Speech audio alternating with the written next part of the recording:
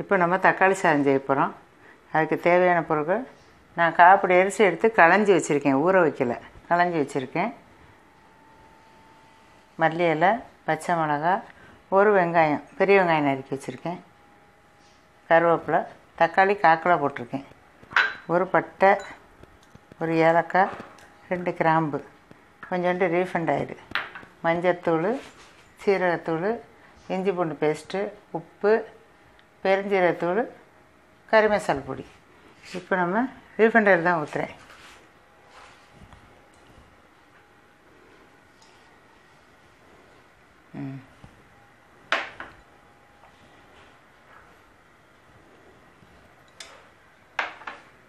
ஒரு பட்டை. ஒரு கிராம்பு ரெண்டு ஏலக்காய்.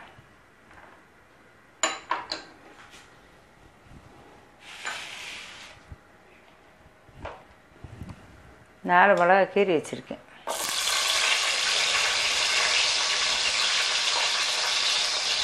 ஒரு வெங்காயம்.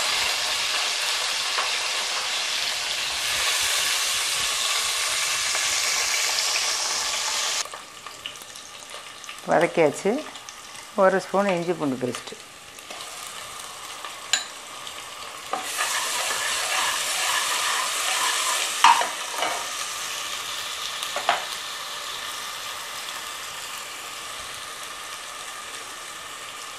தக்காளி.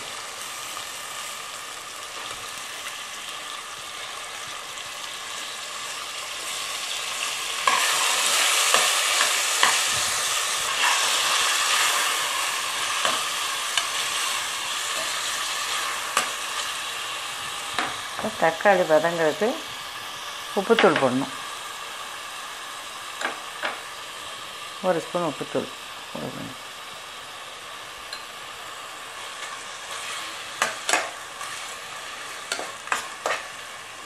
ஒரு ரெண்டு நிமிஷம் வதங்கட்டும். இப்போ கொஞ்சம் வதங்கிடுச்சு இப்போ கறி மசாலா பொடி கொஞ்சம் போட்டுக்கோங்க.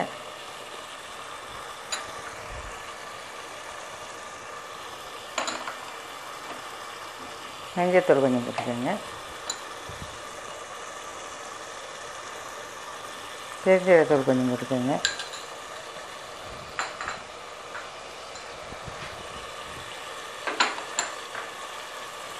சின்ன சீரத்தூள் கொஞ்சம் போட்டுக்கோங்க. தனி வத்தப்படி அப்போ சொல்லலை. தனி வத்தப்படி ஒரு ஸ்பூன். நான் பிரித்து வச்சுருக்கேன்ல அது. ஒரு ஸ்பூன் போட்டுக்கோங்க. போட்டுட்டு கலக்கிடணும்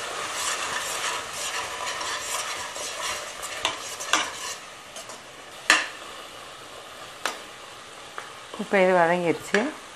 இப்போ புதினா இலை மல்லி இலை கருவேப்பிலை.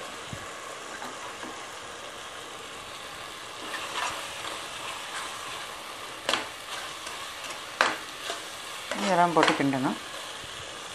இதுமாதிரி அந்த கா இப்போ இது நல்லா வதங்கிடுச்சு ஒரு ஸ்பூன் நெய்.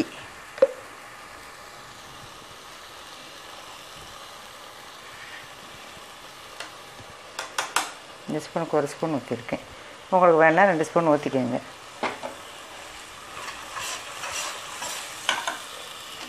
இது களைஞ்சி வச்சுருக்கேன் காப்பிடி அரிசி.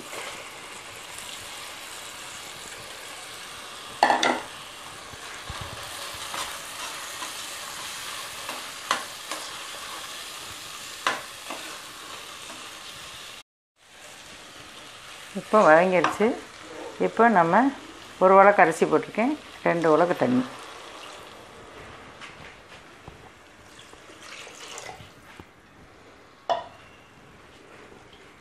உப்பு சரியான குடிச்சு பார்த்துக்கோங்க. கம்மியாக இருந்தால் போட்டுக்கோங்க.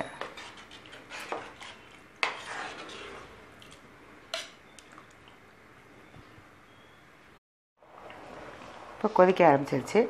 கொதிச்ச உடனே கிண்டி விட்ருங்க எப்போவும். கொதிக்க முன்னாடியே குக்கரை மூடாதீங்க. கொதித்து கொஞ்சம் கிண்டி விட்டால் தான் அடி பிடிக்காமல் இருக்கும். இனிமேல் நம்ம குக்கரை மூடிடலாம்.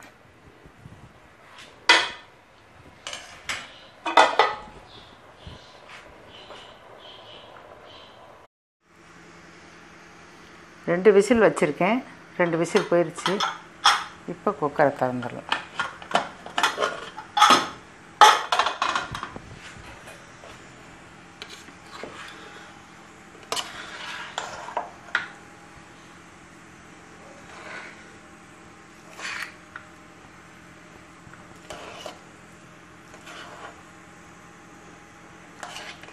நீங்கள் ஊற வச்சு செய்கிறேன் அப்படின்னீங்கன்னா ஒரு விசில் வச்சா போதும். நான் ஊற வைக்கலை.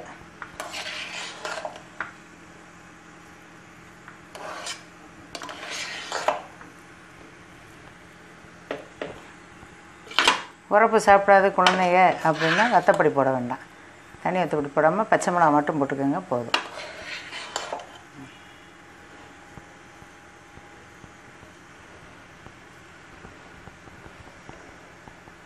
தக்காளி சாதம் ரெடி